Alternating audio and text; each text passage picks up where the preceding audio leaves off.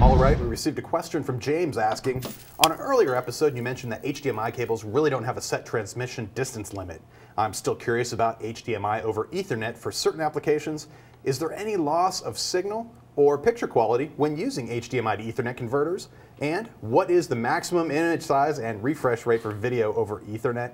Thank you, James in Columbus, Ohio.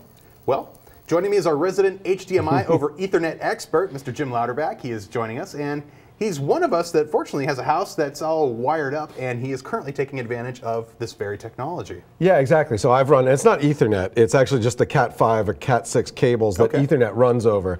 That's what you use. But so I've got a DirecTV box in one part of my house, and I wanted to extend it to my TV in another part of the house. Actually, I want to split the signal. That's a long story. Totally. So I found this product from a company called ArcView, and I'm going to show it off to you right here. Let me grab this one. Um, and basically, it's 50 bucks at Tiger. Uh, it's like 53 bucks at Amazon. It's the ArcView HDMI Cat5e extender. And what it does is what you would imagine. It uses those uh, Cat5, Cat6 cables to extend your DV, uh, HDMI cable from point A to point B. Now, a couple of caveats just to keep in mind on this.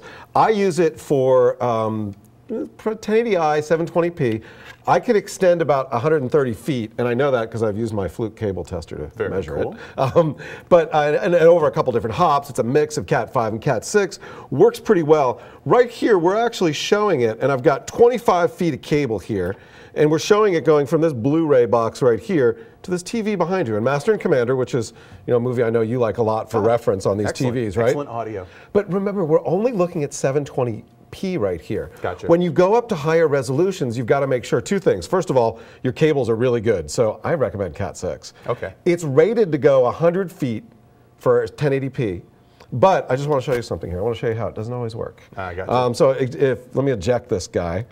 Uh, I'm going to change it over here once it ejects. And we were playing around with this. So we were playing around, and I put the 25 foot cables on. I was like, "Oh, look, it's working just great." And I uh, uh, went over here, and it wasn't really working great after all. So I'm going to go into setup, go into uh, uh, system setup. Whoops, go into display setup, and change it to Bump it up to 1080p. I'm going to bump it up to 1080p. Now, I've done 1080i at 130 feet and it works fine. 1080p right here, these are Ethernet cables that I basically grabbed from our um, uh, CTO. I have no idea how good they are. But as you can see, Of it's really not working. And one of the reasons why is it may be that if you see the little power cable right here, I don't know if you can see this, but it doesn't really fit that well. So Oh, that could slip uh, right I got a feeling that um, that- Definitely something you want to tape down. yeah, you definitely want to tape it. Look, I, oh look, when it's powered up, You know what I'm curious Oh, about? no, you know, I'd like actually- to see if it does 1080i or 1080p 24 instead of 1080p 60. By the way, what it just did, you wonder why it's there? Because it went back to the old resolution Oh, yeah, because he didn't say okay. So this is 720p again. But let me try 1080p 24 real Okay. quick just to see if it works with these uh, cables of dubious quality. And you're also using two cables for this connection setup, right? Yeah, well, you've got to, exactly, you've got to have two cables. That's a really good point. One for the video and one for what's called DDC. So, Gotcha. And oh, oh, see, it does that, and then I can't see the menu to switch Right, it to now, 1080p. it'll- Oh, right, see, now it'll switch back and like, you could set it up and plug it in foiled by menu.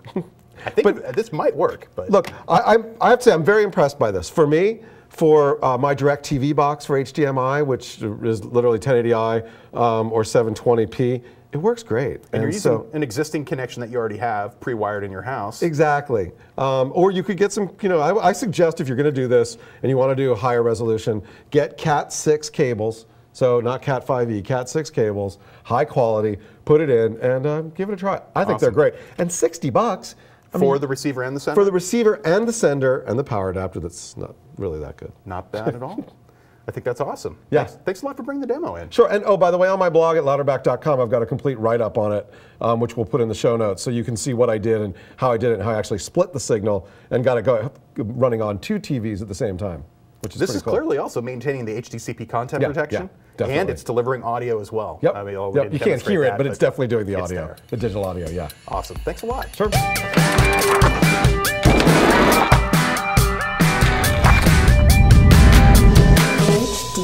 Education.